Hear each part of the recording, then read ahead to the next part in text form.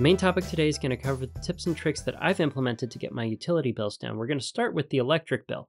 After I had that 200 plus dollar electric bill that we talked about in the story, something changed in the summer of 2023. My utility bill provider shifted from a more or less flat rate that kind of varied depending on your usage for electricity to a time dependent rate where they charge you more during peak hours and less during off hours. And as you can see here, the maximum electric bill that we had during the summer did not exceed uh, $180 and didn't get anywhere close to the 200 from the year prior. And I attribute that to us signing up for this particular plan for time dependent billing. You see, during most off peak hours in the summer, they charge 10 cents a kilowatt hour here where I live.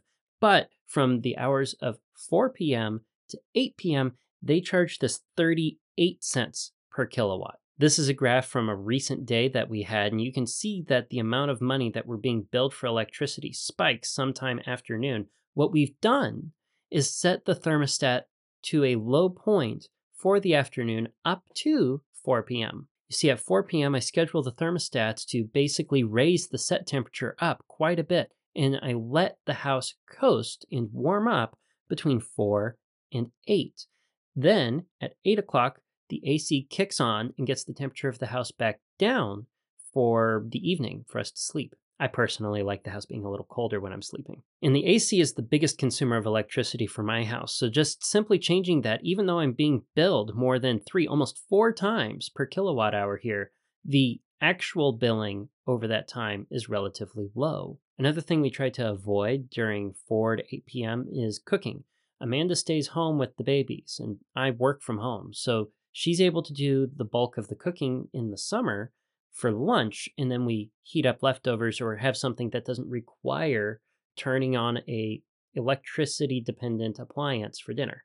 At least not one that consumes a lot of electricity. And if we do, something like this can happen, where we end up with a large spike as you know, it's not always possible to avoid running particular appliances depending on plans, so this does happen every once in a while, but ultimately, it still got our bill down. Just check out this comparison. Before, my high electric bill was over $200. Now, it capped out at 160 after changing this plan. The low is the same at 55. That kind of makes sense. But the average is down 10%. So simply changing our behavior and taking advantage of the time dependent billing saves us 10% on our electric bill, or $120 per year in my case. It may not seem like a lot, but getting that maximum bill down in the summer really does help our budget when things are tight. Now, this visual might seem a little bit intimidating, but I just want to quickly say that my electric company offers four different types of time dependent billings. The first one is the default time based plan, and that's going to be represented of this graph up here. This is very similar to the way that they used to charge. The next plan is the summer peak time based plan. And this is the plan that I use where they charge 38 cents a kilowatt hour between 4 and 8 for summer. And now summer is June to September.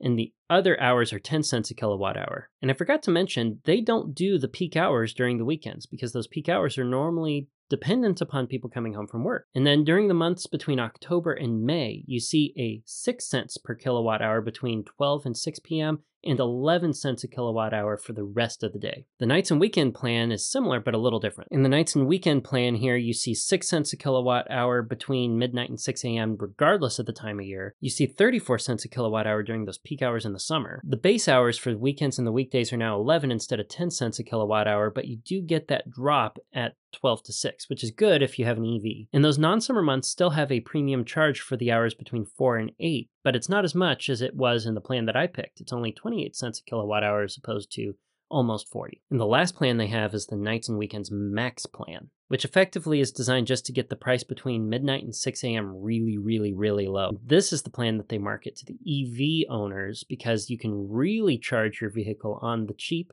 when the pressure on the grid for producing electricity is at its lowest.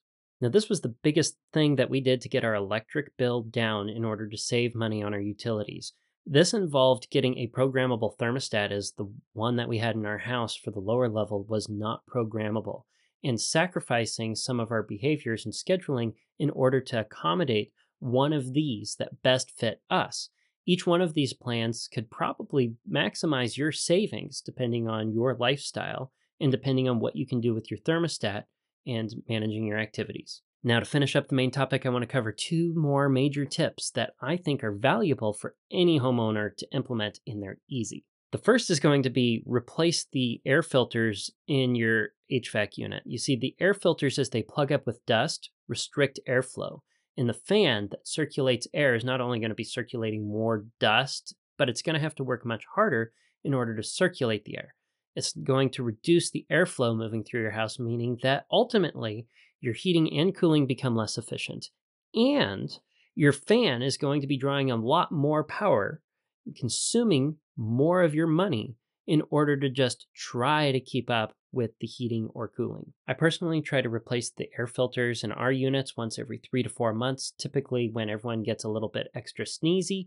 That's a sign that I should probably check the filters. I've also found that at certain hardware stores where I like to buy air filters, they do give a discount if you buy them in bulk. So I'll get an extra good deal by buying multiple at a time and not having to go back to the store but like once or twice a year. Okay, now time for my last tip, and this is one that you should really think about. If you're a homeowner, you probably have a condenser unit for your HVAC if you live in an area that gets very hot in the summer.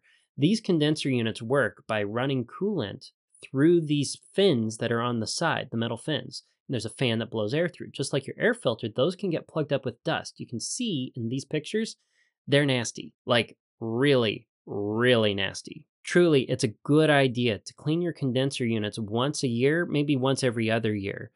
Just take the top off, get your hose, not a pressure washer. You don't want to use something with a lot of pressure because you don't want to bend the fins, and spray from the inside out to get the dust out of the unit. This will increase airflow and increase the efficiency of the unit. The interior coil is going to be able to reach a lower temperature and increase how quickly your unit can cool the home. And if you have a heat pump, that uses one of these for heating, it can also improve the efficiency of your heating during the winter. You remember that really high electric bill I had early on? Well, shortly after moving into the home, we cleaned the condenser units and saw a massive increase in efficiency and a reduction in our electric bill. You go back to the graphs and kind of see it. I don't remember exactly where it was, but I do recall recognizing the benefit of this particular maintenance effort on our monthly budget. There's one more thing that I did do for my heating bill, even though you don't really see the benefit this year over last year. And that is that I replaced that really old furnace in the basement with a high efficiency furnace. It went from being 80 ish percent efficient for the amount of gas that was burned to being over 90% efficient for the gas that was being burned.